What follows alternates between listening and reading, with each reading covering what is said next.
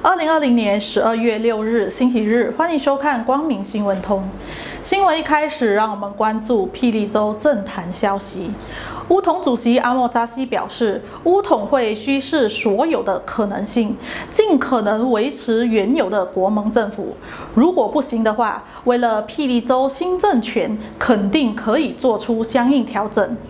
他会重视跟几方面讨论。至于当中是否会包含西蒙和行动党，他表示所有可能性都会有。他今日觐见霹雳州苏丹纳兹林沙殿下后，在行宫外召开记者会时表示，他将会尽快向苏丹提成霹雳州务大臣人选，并由苏丹定夺谁出任新大臣的职位。而行动党霹雳州主席尼科敏接受媒体询问时表示，为了人民的最大利益，霹雳州行动党已经做好准备，更与任何的政党合作，以协助成立一个强大和稳定的政府。对于霹雳乌统和反对党是否有可能组成新联盟及新的州政府，霹雳州诚信党主席阿斯穆尼则回应：没有什么不可能的，并且已经准备好与任何一方合作，组成一个稳定的政府。另一方面，太平十六个华团及两个跑步组织也发表联合声明，呼吁乌统和西蒙放下成见，共组霹雳州联合政府，为民共谋福利。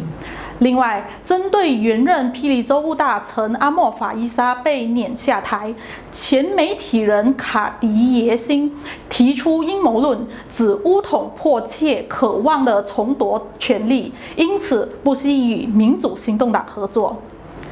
把焦点转向冰城，随着湖内多座祖屋及马杜乌办 Desa Bistari 祖屋将在本月的七日起落实加强行动管制令后，在加强管制前，居民和外劳纷纷大逃亡。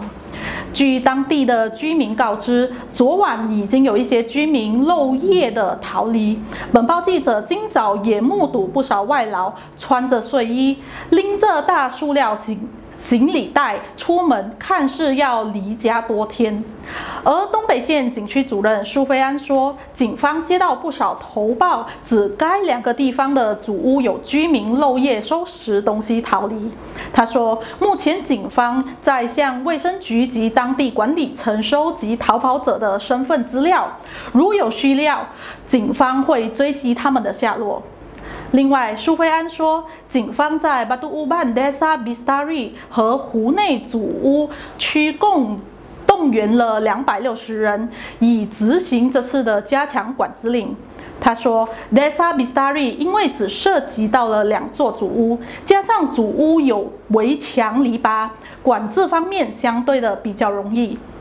相反的，湖内祖屋区的范围比较广，涉及十三栋祖屋，约一万人，所以需要投入更多的人力物力。他强调，在管制区的居民不能够离开，但是每个家庭允许一名成员每天在管制区内的商店采购日常所需品。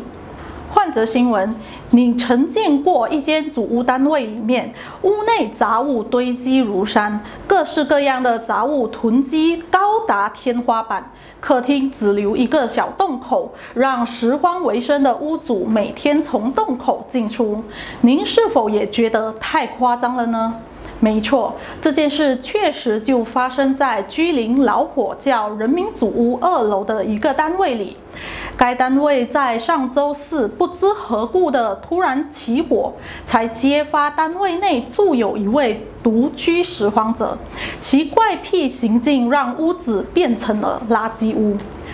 居林区州议员杨庆传日前接获投报，经了解后，今早就率领了慈济自工团及垃圾承包商公司的工人前往有关单位展开清理垃圾工作。他们耗时了约两个小时，也只是清空了客厅里的三分之一的垃圾量，相等于两趟罗里运走了约六吨的。垃圾。据观察，该单位屋内脏乱不堪，从客厅到卧室都被杂物沾满。而六十三岁的拾荒者温贵兴看见有人在清空囤积在走廊及门口的垃圾时，一时情绪失控，边喊边冲向冲下楼，阻止工人搬走囤积在家里的杂物。温贵兴的妹妹及邻居受访时则表示，他们多次劝贵兴清空垃圾，然而却遭到责骂。而杨庆传则认为，在这件事情上必须严厉的执法，才能够起到遏制的效应。这节新闻给您播到这，感谢收看，我们再会。